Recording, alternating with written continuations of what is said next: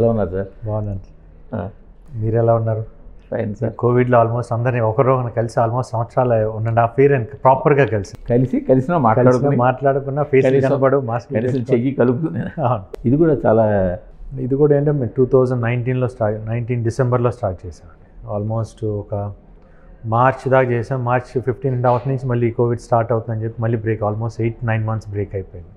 Almost అప్పటికి మేము ఒక ఫార్టీ పర్సెంట్ సినిమా ఫినిష్ చేసాం మళ్ళీ తర్వాత మళ్ళీ డిసెంబర్లో వన్ ఇయర్ దో మళ్ళీ డిసెంబర్లో టూ థౌజండ్ ట్వంటీ డిసెంబర్లో స్టార్ట్ చేసాం మళ్ళీ కొంచెం చేసిన తర్వాత మళ్ళీ కొంచెం బ్రేక్ వచ్చింది. మళ్ళీ ఎట్లా ఫినిష్ చేయాలని చెప్పి ఫైనల్గా మార్చ్కి అట్లా ఫిబ్రవరి రెండుకి అట్లా ఫినిష్ చేశాను.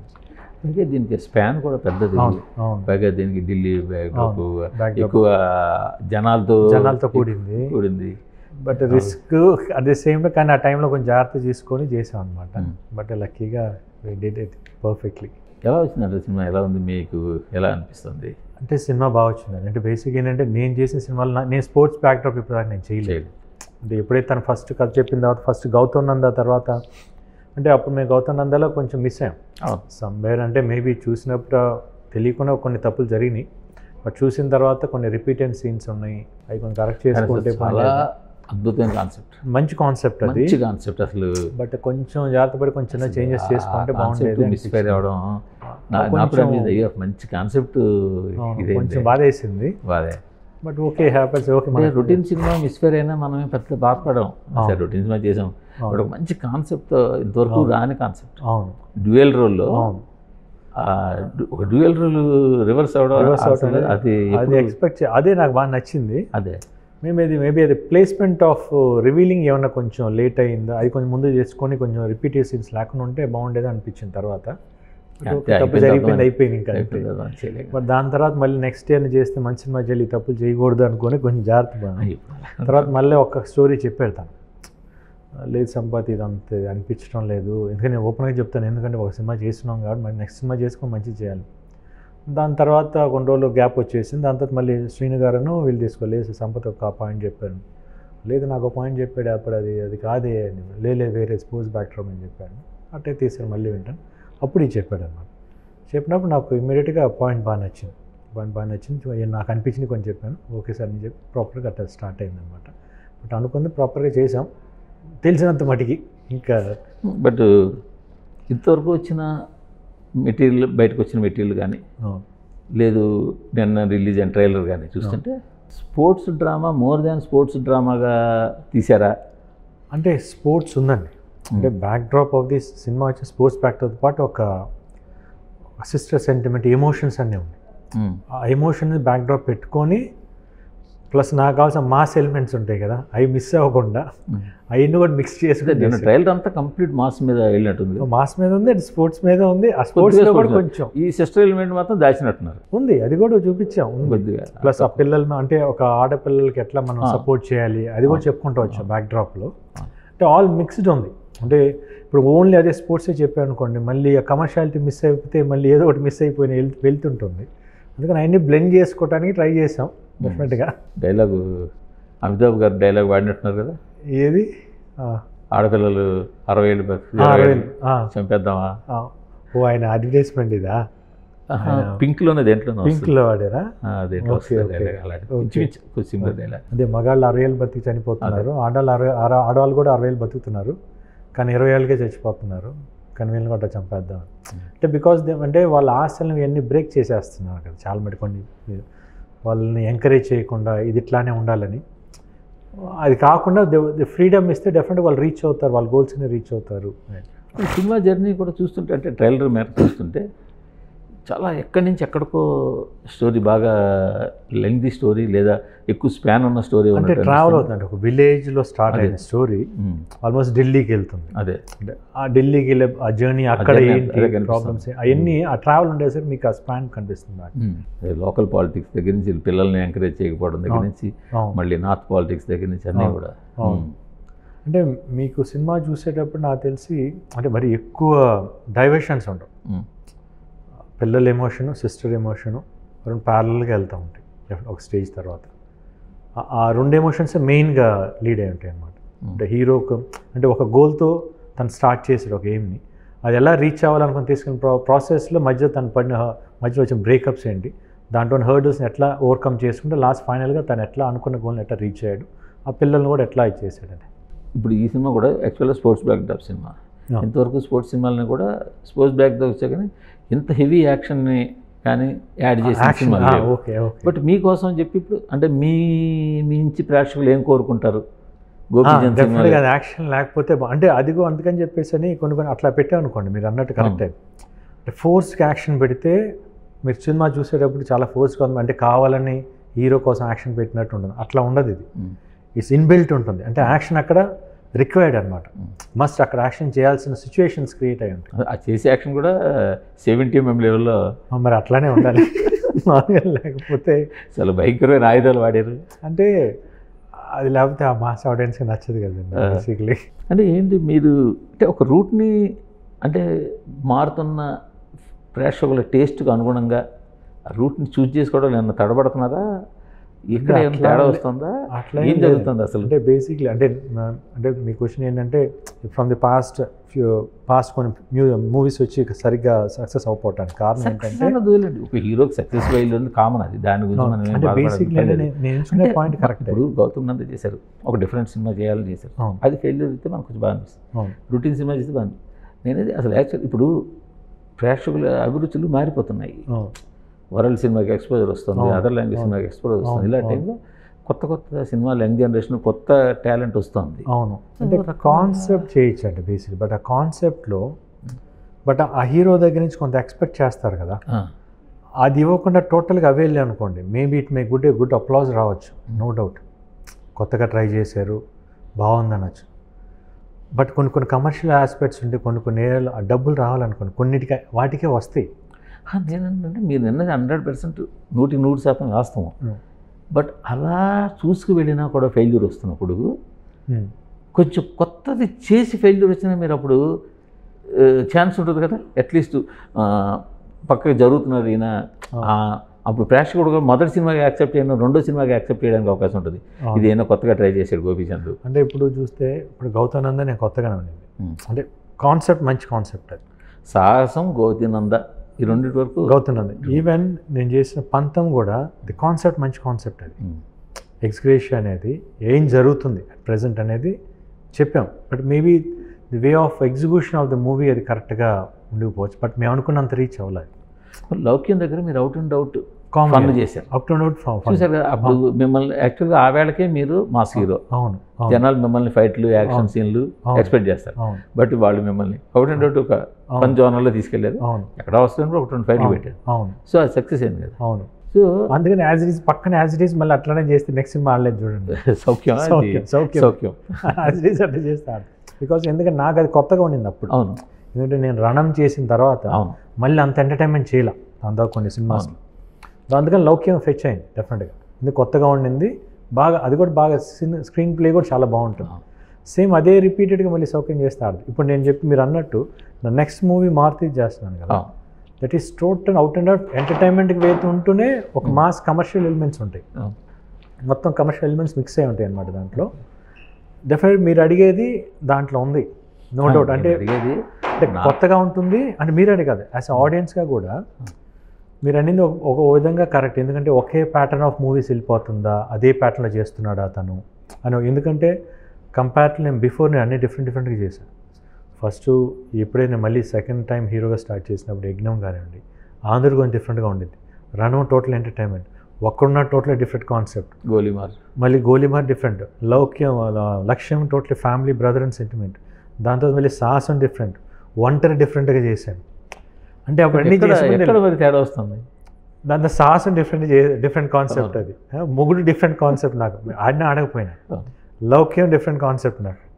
అక్కడి నుంచే మేబీ హిట్ అయింది అనుకోండి సినిమా. మీరు చెప్పిన సినిమాల్లో వెనక్కి వెళ్ళి కూడా వచ్చిన అసలు ఎక్కడ మీ మీ ప్రయత్నం లోపల లేదు మీరే ఇప్పుడు చెప్తున్నారు మీరే చెప్పారు డిఫరెంట్గా మీరు అందరూ కూడా హండ్రెడ్ పర్సెంట్ అవును. ఎందుకంటే ఈ ప్రతిదీ ఒకదానితో సంబంధం లేని. జోనర్స్ ఒకదానితో ఒకటి సంబంధం లేని కథలు.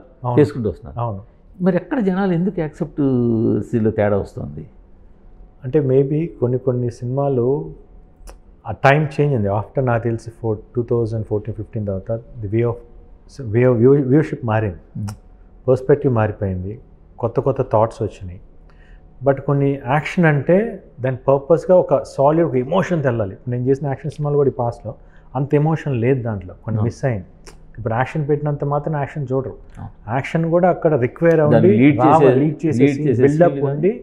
యాక్షన్ వస్తే అప్పుడు అది ఫెచ్ అయ్యింది కానీ లేకపోతే సేక్ ఫర్ ఏదో ఫైట్ కోసం ఫైట్ వెళ్ళిపోయింది. అట్లా కొన్ని జరిగినాయి అక్కడ. కొన్ని ఎగ్జిక్యూషన్ కరెక్ట్గా లేవు. అంటే నేను పాయింట్గా విన్నప్పుడు బాగుండింది. బట్ ఎగ్జిక్యూట్ కానీ కరెక్ట్గా చేసి ఉంటే డెఫినెట్గా కొన్ని దీన్ని నేను చేసిన ఈ ఫ్రమ్ ఫైవ్ ఇయర్స్లో డెఫినెట్ అవి కూడా మంచి సక్సెస్ అయ్యాయి. ఎగ్జిక్యూషన్లు చాలా పోయినాయి. అది నాకు సగం సినిమా చేసేటప్పుడు కొన్ని సినిమాలు అర్థమైనాయి. దిస్ రాంగ్ స్టెప్ పైగా మీరు ఆల్మోస్ట్ హండ్రెడ్ పర్సెంట్ ఇంతో అంత ఒకటి రెండు సినిమాలు చేసిన డైరెక్టర్లు లేకపోతే ఐదారు పది సినిమాలు చేసిన డైరెక్టర్ తప్ప మీరు కొత్త డైరెక్టర్లతో చేయడం అన్నది నేను చాలా. తక్కువ కదా. ఎందుకంటే ఆక్సిజన్ ఆల్మోస్ట్ కొత్త. ఏది? అతను ఆక్సిజన్. తమిళ్ చేశాడు. పంతం కొత్త కొత్తే. పంతం కొత్త డైరెక్టర్ అదే. అంటే నేను నేను ఏమంటున్నాను కంపారిటివ్గా ఇవన్నీ మీరు సపోజ్ మీ గ్రాఫ్ వెనక్కి వెళ్ళి ఒక లాస్ట్ టెన్ ఇయర్స్ నా చూసుకుంటే ఎక్కువ కొత్త వాళ్ళే ఉంటారు రణం కొత్తవాడు మన మన ఫస్ట్ యజ్ఞం కూడా అంతకుముందు ఒకే సినిమానే చేశాడు ఆయన. చిన్నది. దాని తర్వాత మళ్ళీ లౌక లక్ష్యం కొత్తవాడే శౌర్యం కొత్తవాడే ఓకే ఓకే. చందు కూడా దాని ముందు అయితేనే చేశాడు. అయితే అనుకున్నారు తను కొంచెం రెండు సినిమాలు రెండు సినిమాలు చేశాడు అవును. దాని నేను ఎందుకంటే వీడు మిమ్మల్ని ఎస్టాబ్లిష్ డైరెక్టర్లు కావచ్చు లేదా ఒక రెండు సినిమాలు చేసిన వాళ్ళు గోపిచంద్ అనగానే వాడికి ఇలాగే అంటే వాళ్ళకి కనిపిస్తుంది అట్లానే కనిపిస్తుంది అంటే. వేరేదా తీసుకెళ్ళి కొంతమంది ఇప్పుడు ఏంటంటే కొంతమంది నా దగ్గర స్టోరీస్ వచ్చాయి కూడా. వాళ్ళ మైండ్లో ఫిక్స్ అయిపోయి వస్తున్నారు అదే కదా. అది రాంగ్ అది. వాళ్ళకి ఎప్పుడైనా నేను ఒకటి కొత్తగా తీసి చూసినప్పుడు చూపించినప్పుడు అప్పుడు వాళ్ళకి "ఓ, ఇట్లా కూడా చేస్తారు. ఎప్పుడైతే లౌక్యం చేసినప్పుడు "ఓ, ఇది కూడా చేస్తారా? అంటే వాళ్ళు చూసే విధంలో ఉంటుంది ఐలో ఉంటుంది కదా బేసిక్లీ యాక్చువల్ మధ్యలో జిల్లు కూడా జిల్లు కూడా కొత్తగా ట్రై చేసాం. స్టైలిష్గా స్టైలిష్గా ట్రై ట్రై చేసాం. అదే. చేసాం బట్ అది అంటే జిల్లుకి నాకు తెలిసి మిస్ అయింది ఏంటంటే దాంట్లో కూడా కథలో కొంచెం ఇది. ప్లస్ ఇంకోటి అంటే Vamsi point of view producer point కొంచెం ఇంకా ప్రమోట్ చేసి కొంచెం తొందరపడి రిలీజ్ చేసాం అది మనం. బట్ ఆయన కూడా కథలో కొంచెం ఉందలేండి. తప్పులు ఉన్నాయి. తప్పు లేకుండా జరగదులే. మిమ్మల్ని చూస్తే అదృష్టం రెండు మీ రెండు పాకెట్లో ఉన్నాయేమో అనిపిస్తుంది. అదృష్టం దురదృష్టం. ఎందుకంటే మరే హీరో అయినా ఒక టెన్ ఇయర్స్ స్పాన్లో టెన్ సినిమాస్ చేస్తే ఒక్క సినిమా హిట్ అయితే ఓకే. ఈ పాటికి ఫేడెడ్ అయిపోయే ప్రమాదం ఉండేది. ఓకే.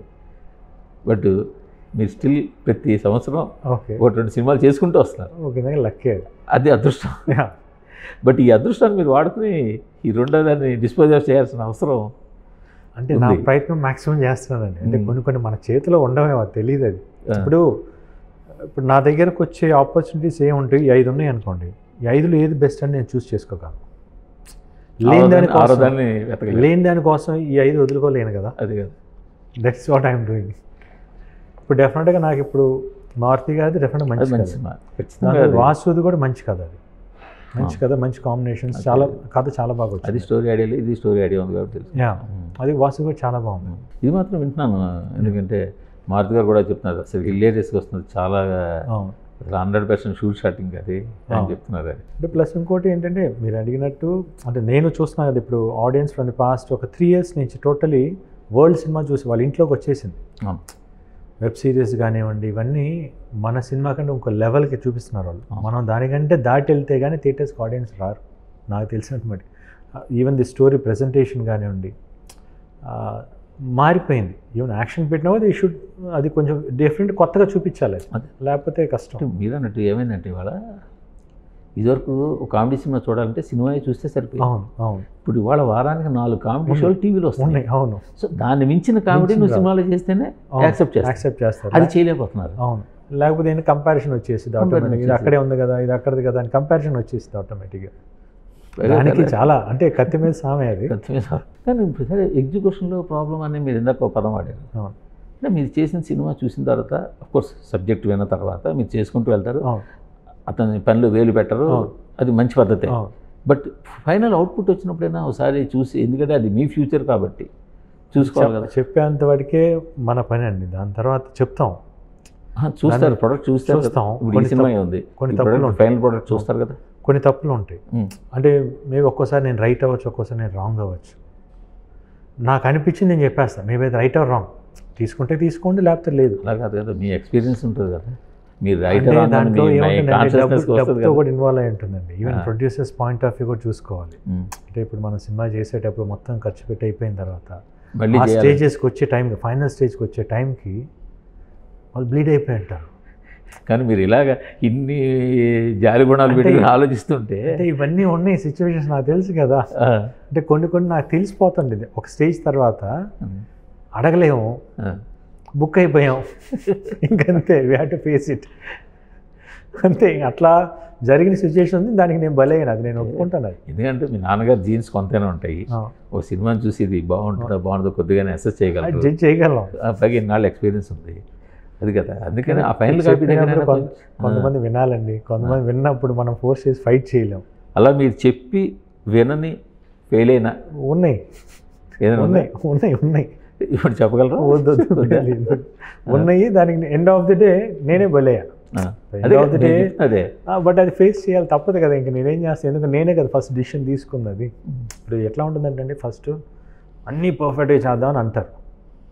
అట్లానే అంటే నేనేంటంటే నేను నా కోసం నేను చే ఒక సినిమా కోసం నా వంతు నేను ఎంత ప్రయత్నించగలను? నా ముందు అవుట్పుట్స్ కానీ ఏమైనా జెన్యున్గా చెప్తా. మేబీ సమ్టైమ్స్ నేను రాంగ్ అవ్వచ్చు అవి. సమ్టైమ్స్ కరెక్ట్ అవ్వచ్చు.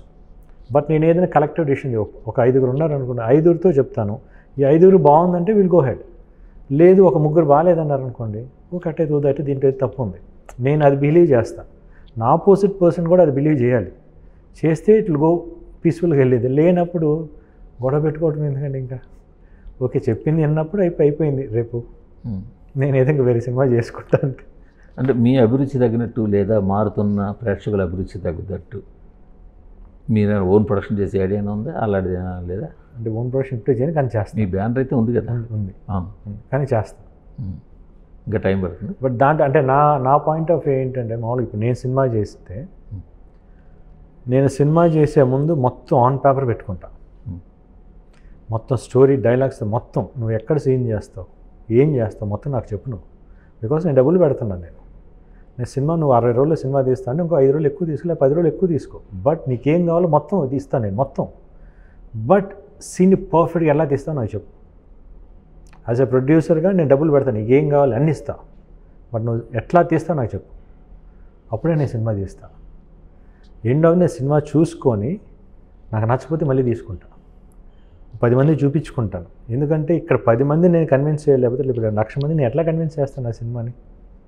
నేను అట్లా నేను అది నమ్ముతాను బేసిక్లీ కానీ అది అందరు నమ్మాలి. ఇప్పుడు ప్రొడ్యూసర్ ఏ ప్రొడ్యూసర్ అయినా కూడా ఎవరైనా చేసేది బిజినెస్ కోసం ఒక రూపాయి సంపాదించడం కోసం. చేస్తారు. ఆ సంపాదించేటప్పుడు ఎన్ని పర్ఫెక్ట్గా పెట్టుకుంటే నాకు తెలిసి సినిమాలో లాస్ రాదు సార్ నాకు తెలిసి. కరెక్ట్గా చేసుకుంటే సినిమా వేసే ప్రాఫిటబుల్ బిజినెస్ నో డౌట్ అది.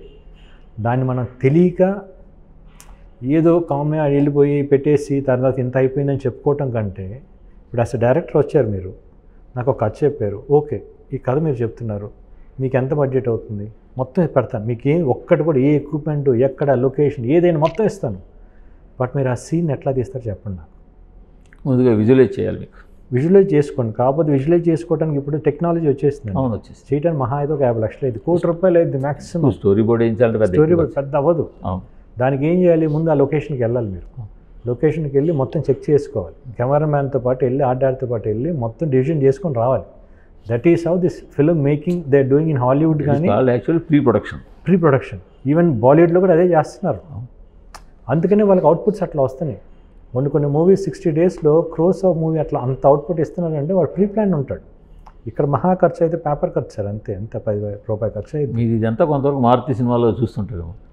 ఆ Maruthi is very very economic పర్ఫెక్ట్గా తను టక టక టక టక అంటే డేస్ వేస్ట్ తను తీయాలను స్పీడ్గా తీసేస్తాడు. అంటే అట్లా తీసిన డైరెక్టర్స్ నాతో ఒక ఇద్దరు ముగ్గురు ఉన్నారండి. They very good. అంటే ప్రొడ్యూసర్స్ కూడా పాయింట్లు పెట్టుకొని తనకి ఏం కావాలని ముందల ఎయిటింగ్ సెన్స్ ఉండాలి సినిమా తీసేటప్పుడు మ్యూజిక్ సెన్స్ ఉండాలి. ఇవన్నీ ఉంటేనే రేపు అన్నీ కరెక్ట్గా వస్తాయి. లేకపోతే బడ్జెట్లు పెరించుకొని వేస్ట్ ఇవన్నీ ఉంటేనే మీ సినిమా చేస్తారు అప్పుడు. అవన్నీ నేను చేస్తే అట్లానే చేస్తాను అది. పర్లేదు ఒక నెల కూర్చున్నాం రూమ్లో కూర్చున్నాం రూమ్లో ఫుడ్ ఖర్చు అయ్యింది పేపర్ ఖర్చు అయ్యింది అంతే కదా. బట్ సెట్కి వెళ్తే ఈ రోజులు నాకు తెలిసి ఫిఫ్టీన్ ల్యాక్స్ కంటే తక్కువ అవట్లేదు sir. Fifteen twenty five fifteen twenty five lakhs even fight అయితే ట్వంటీ. ఫైవ్ పైనే. వేస్ట్ ఆఫ్ మనీ కదా. ఎవరు తిన్నట్టు కాదు. కానీ ఒక సినిమాకి హీరోయిస్ బాస్. ఎంత కాదు హీరో ఇస్ నాట్ బాస్ అండి. నా పాయింట్ ఆఫ్ వ్యూలో నేను చెప్పాను అంటే మాట నడవడం దగ్గర. సినిమా తీసే డైరెక్టరే కెప్టెన్ ఆఫ్ ది షిఫ్ట్ డైరెక్టరే కాదని ఒప్పుకోను. డబుల్ ప్రొడ్యూసర్ బట్ మాట చిల్లేది మాట నడిచేది హీరోదే కదా. మిమ్మల్ని కాదని మీ గీత దాటి వాళ్ళు ఏమైతే వెళ్ళరు. హీరో నచ్చితేనే చేస్తాడు కదా లేకపోతే వేరే కాదు. ఇప్పుడు మీరు ఉంది సార్ ఫలానా సీను ఇలా ఉండండి ఈ సీన్లో మీరు ఈ డ్రెస్ వేసుకోవాలి ఇలా నడవాలని మేము మీ యాక్సెప్టెన్స్ తోటి వాళ్ళు చేస్తాం. సో మీ మాట కాదన్నప్పుడు మీ దే మీ మైండ్లో ఇంత ఐడియా ఉంది. ఒక సినిమా మేకింగ్ మీద ఇంత ఐడియా ఉంది మీ మైండ్ చాలా మంది చెప్పి నేను. అవునా? చెప్పి అలసిపోయాను. అవునా? అంటే సినిమా స్టార్టింగ్ అప్పుడు ఎన్ని చెప్తాను. కానీ బట్ అక్కడ ఏం ఇంప్లిమెంట్ అవునప్పుడు ఇప్పుడు నా సైడ్ నా ధర్మంగా నేను చెప్పాను. అది ఎవరి కోసం? వాళ్ళ ఈ భగవద్గీత అంతా వాళ్ళు కూడా వినిపించారు. అన్నీ చెప్పాం. ఆ, అయినా విన్నప్పుడు ఇంకా మనకి ఎందుకు ఓకే వాళ్ళకి ఇంకేం చేయండి నేను అంతే. కానీ అల్టిమేట్గా మీరే సఫర్ అవుతున్నారు దానివల్ల చివరికి ఫేస్ చేస్తుంది అది. సరే వాళ్ళు డబ్బులు లాస్ అవుతున్నారా? ఆ, డైరెక్ట్ కెరీర్ లాస్ అవుతుందని పక్కన మీరు ఇది అవుతుంది? లాస్ అవుతున్నా. అంటే అట్లా నేను ఒక సినిమా ఆపేసాను కూడా. అది మీకు తెలిసి ఉండదు ఒక తమిళ డైరెక్టర్ది ఒకటి. అది లిటరల్గా నాకు ఒక టూ డేస్ చేసిన తర్వాత నాకు తెలిసిపోయింది ఇది. Hmm. ఇతనికి ఏమీ రావట్లేదు Hmm. చాలా కష్టం అని ప్రొడ్యూస్ క్లియర్గా చెప్పారు. ఏమంటే మహా అయితే నాకు తెలిసి రెండు మూడు రోజులు చేశారు అంతే కదా? పోయి ఇది వేస్ట్ అయిపోయింది ఇది. కోట్లతో పోయింది, వద్దు ఆపేయండి. నా సినిమా ఆగింది అనుకుంటారా పర్లేదు ఏం పర్లేదు. రేపు వచ్చి నన్ను ఎవరు కొట్టడు కదా? ఎందుకు వదిలేసేయండి మీరు చేసుకుని చెప్పేశారు. అంటే అట్లా నేను కొన్ని తర్వాత చేయలేను అన్నిటి చేయలేను కదా అట్లా. అది ఎక్స్పీరియన్స్ నేను ముందు చెప్తున్నా సరే ఇవన్నీ చేసుకోండి మీరు బాగుంటుందని. ఫస్ట్ ఆ అంటారు తర్వాత కానప్పుడు ఇంకేం చేస్తాను రెండవది లాస్ట్కి నేను ఇట్లా మీదో ఎవరు నా ఫ్రెండ్తో ఎవరన్నా కూర్చొని ఇట్లా జరిగింది ఇట్లా అయిపోయింది రెండవది నేను బయలుదేరాను అనుకుంటున్నాను మళ్ళీ వెళ్ళని క్యారెట్లో ఆఫర్ చేయట్లేదు? అటు వెళ్ళాలని ఏం లేదా? ఇప్పుడు వెళ్ళాలి లేదు ఎందుకంటే? హీరోగా వస్తుందే చేసుకుందాం. ఎందుకంటే మన వాళ్ళు ఈ మల్టీ స్టార్ విలన్స్ కావాలంటే మలయాళం నుంచి తమిళ నుంచి కన్నడ నుంచి తెచ్చుకొస్తున్నారు. ఓకే. హీరో సమానమైన బలమైన విలన్ క్యారెక్టర్లు కావాలని. ఓకే. ఎందుకంటే మనకి ఇక్కడ దొరకే ఓకే తెచ్చుకుంటారు మేబీ వాళ్ళకి కావాలి ఆ క్యారెక్టర్ కావాల్సినట్టు. అదే అంటున్నాను అలాంటి డిమాండ్ ఉన్నప్పుడు అంటే అలాంటి అంటే మళ్ళీ అందులోకి వెళ్తే ఇందులోకి రాలేమంటారా? వాళ్ళేమో ప్లస్ ఏంటంటే నేను ఫస్ట్ చేసింది కూడా నేను విలన్కి చేయాలని చేయలేం. ఫస్ట్ నా సినిమా ఫ్లాప్ అయింది కాబట్టి thus I want to prove it యాక్టర్గా. యాక్టర్గా నేను ప్రూవ్ చేసుకోవాలనే అప్పుడు అడిగాను ఛాన్స్ కరెక్ట్గా నా లక్గా జయం దొరికింది. ఈవెన్ నేను జయం చేసినప్పుడు కూడా నేను తర్వాత ఒక చోట చెప్పాను నేను దాంట్లో విలన్ అని నేను చేయలేదు నేను. నేను హీరో ఆ సినిమాకి నాకు అతను విలన్ అని అట్లా ఆ మైండ్ సెట్తో నేను చేశాను. మేబీ నాకు అందుకని మేబీ అట్లా వెళ్ళిందేమో. అంటే మేబీ ఆ పర్ఫార్మెన్స్ అప్పుడు కూడా అట్ ద సేమ్ దాని క్యారెక్టర్స్ కూడా అట్లా వచ్చినాయి నాకు. అసలు ఆయన డిజైన్ చేసింది కూడా డిజైన్ కూడా అట్లా చేశారు ఆయన. మేజర్ రోల్ ఇదే కదా. అవును. అంటే మేబీ ఆ సినిమా స్టార్టింగ్లో కూడా అంత లేదు ఆ క్యారెక్టర్ అది. తర్వాత ఆయనే చెప్పారు గోపి ఫస్ట్ నేను నీ క్యారెక్టర్ ఎంత అనుకోలేదు. వన్స్ నువ్వు జాయిన్ అయిన నువ్వు చేసేదాన్ని నేను పెంచుకుంటూ వెళ్ళిపోయాను క్యారెక్టర్ని అని. ఆయన రిజిస్టర్ రిలీజ్ రిలీజ్ బిఫోరే చెప్పారు నాకు ఒక రోజు. గోపి నాకు తెలియదు ఈ సినిమా రిలీజ్ అయిన తర్వాత ఎలా ఉండితో నాకు తెలియదు. ఎవరు లేస్తారో నాకు తెలియదు. బట్ నువ్వు మట్టి కొంచెం ఓపిక్గా ఉండు. అంటే ఆయన ఆయన సినిమా చూసిన తెలిసిపోయింది ఈ క్యారెక్టర్ లేస్తుంది ఆటోమేటిక్గా అసలు ఆ క్యారెక్టర్ మీదే వెళ్తుంది అసలు హీరో ఉంటాడు కానీ చివరికి. హీరో గెలవాలి కాబట్టి చివరిని హీరో లేని చూపిస్తుంది కానీ చివరి దాకా హీరో విలన్ స్టోరీ ఆ లెవెల్లో ఈ లెవెల్లో అంటే ఈ లెవెల్లో ఉంటుంది. అది totally villain story villain story అది. అంటే అట్లానే అట్లా దొరికినాయి. నెక్స్ట్ నిజం కానివ్వండి వర్షం కానివ్వండి. స్ట్రాంగ్ క్యారెక్టర్స్ కాబట్టి అంత బాగా రీచ్ అయింది అది. ఒక విధంగా అవి మూడు చేయటం వల్ల నాకు మళ్ళీ నెక్స్ట్ ఎగ్జామ్కి నాకు ప్లస్ అయింది. ఒక మాస్ హీరోగా రావడానికి ఆ మూడు సినిమాలు నిజంగా చాలా బేస్మెంట్ వేసింది బాగా. ఈ నాన్నగారు ఆల్ ఆఫ్ ది సడన్ వదిలేడిపోయారు. బట్ ఆయన అప్పటికి కొన్ని ఏమైనా అనుకుని ఉండి ఉంటాయి ప్రాజెక్టులు ఏమైనా స్టోరీలు రాసి పెట్టుకుని కానీ లైన్లు రాసి పెట్టి కానీ ఆయన చాలా మంచి థింకర్ కదా. అంటే అప్పుడు మేము చిన్నోళ్ళం బేసిక్లీ కానీ ఆయన రాసి పెట్టిన స్టోరీ అప్పుడు బాబురావు గారు తీసింది భారతనారి సినిమా. అవును. ఈవెన్ ప్రజాస్వామ్యం కూడా కొంచెం అదే ఉంటుంది. మళ్ళీ అరుణ కిరణ్ అప్పుడు కూడా కొంచెం అంటే సుబ్బయ్య గారు తీశారు బట్ స్టోరీ కొంచెం అంతా కొంచెం థాట్ అంతా అయిందని అన్నారు నాకు. ఇంక మిగిలి మిగతా ఇంకేం లేదు. బట్ ఆ థాట్ ప్రాసెస్ ఏమైనా మీకు వచ్చిందా? మీరు ఏమైనా కథలు రాద్దామని కానీ లేదా ఆలోచనలు కానీ? కథలు రాదని లేదు. అసలు నాకు అంత తెలియదు బికాస్ ఎందుకంటే నేను సినిమాల్లోకి రా వస్తానని నేను అసలు అనుకోలేదు ఎప్పుడు. అంటే వద్దామని కూడా అనుకోలేదు అసలు. బట్ అన్ఫార్చునేట్లీ అట్లా ఆయన కొద్దిగా లెస్టెడ్ భావజాలంతో స్టడీ చేసి చదివి చదివి ఆయన ఇంప్రూవ్ చేసుకున్నది. లైఫ్ అట్లా వెళ్ళింది. అంటే ఒక ప్రజానాట్య మండలి వెళ్ళటం వల్ల తనకు ఆయనకి ఆ థాట్ ప్రాసెస్ థాట్ ప్రాసెస్ అట్లా ఉంది బట్ మేము పెరిగిన వాతావరణం వేరు కదా. Bond with gold spoon gold spoon కాదు. బట్ అయినా మేము పెరిగి నేను పుట్టింది ప పల్లెటూరులోనే పుట్టాను. దాని తర్వాత అక్కడ చదువుకొని చెన్నైకి షిఫ్ట్ అయిపోయాం ఆల్మోస్ట్ చిన్నప్పుడే. చదవడం కొంత పల్లెటూరులో చదివాలి ఆ ఊర్లో చేస్తాను తర్వాత మళ్ళీ మా నాన్నగారు నా కో- మా కోసమే పిల్లలు ఉంటే అప్పుడు ఇంగ్లీష్ మీడియం లేదని చెప్పేసి అని. ఒంగోలు ఒక స్కూల్ పెట్టారు. ఓన్ స్కూల్ పెట్టారు. ఒక టీచర్ని మా ప్రిన్సిపల్ని చెన్నై నుంచి తీసుకొచ్చి. ప్లస్ మా నాన్నగారు ఫ్రెండ్ సర్కిల్స్ వాళ్ళ పిల్లలందరూ కూడా ఆ హాస్టల్లోనే ఒక టూ ఇయర్స్ చదివాము మేము ఒంగోలు. నిల్ డెస్పరాండం అని చెప్పేసి టైటిల్ పేరు అది. దాన్ని ఇప్పుడు మళ్ళీ నాన్నగారు ఫ్రెండ్ ఒక లేడీ ఆవిడ తీసుకొని నాన్నగారి పేరు పెట్టి టీ కృష్ణ మెమోరియల్స్ అని చెప్పి స్కూల్ రన్ అవుతుంది ఒంగోలు. ఒంగోలు. రన్ అవుతుంది. ఒక థర్డ్ స్టాండర్డ్ దాకా అక్కడ చదివాం. దాని తర్వాత మేము చెన్నై. షిఫ్ట్ అయిపోయాం. అంచేత మీకు అంత but we know the roots అంటే. పల్లెటూరు పెరిగిన పుట్టింది అక్కడే ఒక ఊహ వచ్చేదాకా అక్కడే తిరిగాం కాబట్టి రూట్స్ మేము మర్చిపోలేదు. గోపీచంద్ అసలు ఎక్కడ సినిమా తప్పిస్తే ఇంక ఏ విధంగా యాక్టివ్గా కనిపించదు. ఎందువల్ల? అంటే సోషల్ మీడియాలో యాక్టివ్గా ఉంటారు. ఏదో ఇన్స్టాగ్రామ్ ట్విట్టర్ ఏదో ఆ అవసరం మేరకు ఎప్పుడైనా వాడతారు తప్ప దాన్ని వాడరు. బయట పార్టీల్లో కూడా కనపడరు. అంటే బేసిక్గా నాకు సినిమా నేను ఒక ప్రొఫెషన్ లాగా చేస్తానండి. అంటే వచ్చాను నాకు ఇది జాబ్ ఇది. ఈ జాబ్ చేసానా బయటకు వెళ్ళిపోయిన తర్వాత నా బయట ఫ్రెండ్స్తో పాటు ఉంటాం. బయట ఫ్రెండ్స్ లేకపోతే ఫ్యామిలీ దాంట్లో ఉంటాం. వైఫ్ పిల్లలు. వైఫ్ పిల్లలు అట్లా.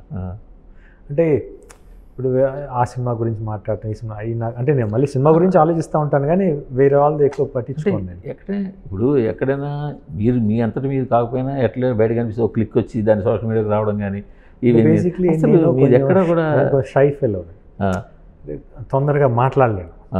అంటే అన్లెస్ పరిచయం అవ్వకపోతే నేను అంత తొందరగా ఓపెన్ అప్ అవును. మళ్ళీ నేను వెళ్ళి నేను ఏం మాట్లాడాలి ఎందుకు గమ్మున ఉంటాను ఇంకోటి. ఇంకోటి తప్పు నేను ఏంటంటే తప్పు నేను ముఖమే మాట్లాడేస్తాను. ఉమ్. అది ఎందుకు ఒక్కసారి కొంతమంది నచ్చదు. ఎందుకు గమ్మున ఉంటే బెటర్ అని చెప్పి పని చేసుకుని వెళ్ళిపోతాను. నాన్నగారు లెఫ్టిస్ట్ కదా? అవును. పూర్తిగా. అవును. అంటే ఓన్లీ అదేనా? ఆయన ఎథిస్ట్ కూడానా? ఎథిస్ట్ కూడా. బట్ మీరు. మీరు కాదనుకుంటా? కాదు నేను దేవుని నమ్ముతాను అదే నేను అంటున్నాను. నాన్నగారు ఎథిస్ట్. అవును. మీరు మాత్రం దేవుడిని పూజలు నేను నేను నమ్ముతాను ఎందుకంటే చిన్నప్పటి నుంచి ఇంట్లో మదర్ చేస్తుంది కాబట్టి నేను ఎవరు మదర్ చేసేవారా మదర్ చేసేవాళ్ళు. బట్ మదర్ చేసేటప్పుడు ఫాదర్ ఏం అనేవాళ్ళు కాదు. ఎవరి ఇష్టం వాళ్ళది. ఓకే. అంతే అనేవాడు మా అదేం లేదు. బట్ ఈవెన్ తన థాట్స్ కరెక్ట్. అంటే ఎండ్ ఆఫ్ ది డే ఏంటి? అందరు ఈక్వల్గా ఉండాలి. వీలైనంత సహాయం చేయాలి. That is the main underline point. అది దేవుడు నమ్మటానికి దానికి సంబంధం లేదు. బట్ నేను బిలీవ్ ఆ, విషయంలో ఆయన డిఫరెంట్ అది అది మీరైనా ఫాలో అవచ్చు మదర్ ఎవరైనా ఫాలో ఫాలో అవచ్చు. అంటే దేవుణ్ణి నమ్మడం వరకు ఆయన. సిద్ధాంతం వేరు మీ సిద్ధాంతం వేరు. అదే నేను బిలీవ్ చేస్తే there is some power is there ఏదో పవర్ అయితే ఉంది. ఇట్స్ ఇన్విజిబుల్ పవర్ అది. అదే. నమ్ముతాను నేను. డైలీ ఏమైనా అంటే మీరు కూడా కాసేపు ఒక ఐదు నిమిషాలు ఫైవ్ మినిట్స్ అలా స్పేర్ చేస్తారా? యా నేను స్పేర్ చేస్తాను. నేను మెడిటేషన్ చేసుకుంటాను. మెడిటేషన్ చేస్తారు అదే అదే. అదే విన్నాను. నాకు ఆశ్చర్యిస్తుంది ఏంటి? ఆయన ఏమో అంత స్ట్రాంగ్ అవును. అంటే ఈవెన్ మా బ్రదర్ కూడా నమ్మడు. అవునా? ఓకే. బట్ మాకు మేము నమ్ముతాం. అంటే నమ్మడం అంటే నేను మరీ కాదు but I believe in God అదే ఎంతో కొంత. మేబీ సిచ్యువేషన్స్ కూడా లీడ్ అండి. అది సో ఆ లెక్క ప్రకారం మీ జర్నీ మీ కర్మ సిద్ధాంతానికి ఇది మన టైం బాగాలేదని వదిలేస్తారా? లేకపోతే అంటే ఏమైనా చెయ్యాలి అని ఏమైనా అంటే మన ప్రయత్నం అయితే మనం చేయాలి. అవుట్ ఆఫ్ మై హ్యాండ్స్ ఏమైనా జరగచ్చు కానీ బట్ నేను చేయకుండా అన్నీ అయితే రావు. ఏదైనా ప్రయత్నించకుండా ఏది రాదు మనకి. ప్రయత్నం లోపం లేకుండా ట్రై చేయాలి. End of the result is not in our hands అంతే. రేపు నేను రిగ్రెట్ అవ్వకూడదు. అయ్యో నేను ఇది ప్రయత్నించలేదే. ఇప్పుడు మీరు ఇందాక అన్నట్టు సినిమా చేసి చూసిన తర్వాత నేను నచ్చపోతే నచ్చలేదని చెప్పేసి ఇచ్చేయచ్చు కానీ అది నేను ప్రయత్నించకపోతే అది నా తప్పు. నేను చూసి నచ్చలేంది నేను నచ్చలేదండి ఇది బాగాలేదు తప్పు అని చెప్పి చెప్పి నా బాధ్యత నేను చెప్పాను నాకు అనిపించింది. అది ఇంకో వాళ్ళు దాన్ని కరెక్ట్ చేస్తారా లేదా అనేది ఇంకా అంటే నా ఒక్క హ్యాండ్ మీద కాదు చాలా హ్యాండ్స్ ఇన్వాల్వ్ అయి ఉంటాయి దాంట్లో. ఫైనల్గా చూసారు ఇది? చూశాను డబ్బింగ్లో చూశాను డబ్బింగ్లో చూసి దాని తర్వాత నేను నాకు అనిపించింది నేను చెప్పాను. కరెక్షన్స్ నేను చెప్పాను. చేశారు అవి? మ్యాక్సిమం చేశారు. ఇంక తర్వాత. ఇంక నేను చూడలే మళ్ళీ తర్వాత నేను ఇష్యూ చూడాలి కదా మీరు చెప్పింది ఇంప్లిమెంట్ అయిందో లేదో చూడాలి కదా.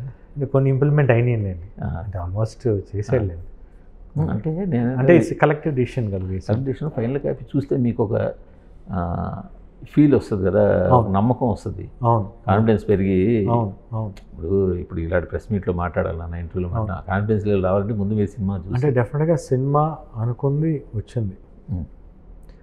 అంటే నేను అనుకోవటం ఆల్మోస్ట్ అంటే ఒక హండ్రెడ్ పర్సెంట్ ఉంటే దాంట్లో ఒక నైంటీ పర్సెంట్ వచ్చింది. ఓకే చాలు. అనుకున్న దాంట్లో నైంటీ పర్సెంట్ వచ్చిందంటే ఇట్స్ గ్రేట్ ఒక విధంగా చెప్పాలంటే సినిమా సంబంధించిన వరకు అవును స్క్రిప్ట్ అనుకున్న స్క్రిప్ట్ నైంటీ పర్సెంట్ తీసుకురాగలిగారంటే. మీ గుడ్ డేస్ దీంతో నెక్స్ట్ మారుతి గారి సినిమాతోటి స్టార్ట్ స్టార్ట్ అవుతాయి అవుతాయి అని డెఫినెట్ నమ్ముతున్నా. ఉన్నారు కదా? సో మీరు నమ్ముతున్న భగవంతుడు మీకు ఆ గుడ్ డే స్టార్ట్ చేయాలని కోరుకుంటూ thank you thank you thank you